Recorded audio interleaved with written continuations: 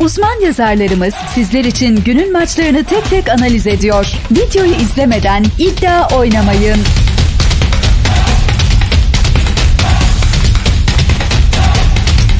İspanya La Liga'da, şampiyonluğun favori dev ekiplerinden Real Madrid ile ligin kalbur üstü ekiplerinden Real Sociedad karşı karşıya geliyor.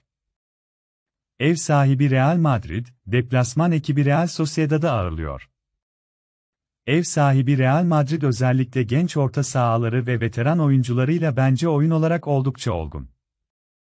Ofansif anlamda da etkililer ve keyif veriyorlar. Deplasman ekibi Sociedad ise sonunda milli aradan önce galibiyet almayı başardı fakat savunmada çok zayıf görünüyor.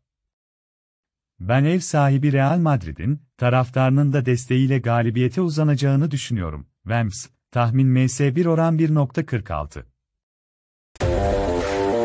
Maçla ilgili senin de yorumun varsa yorumlarda sen de paylaş.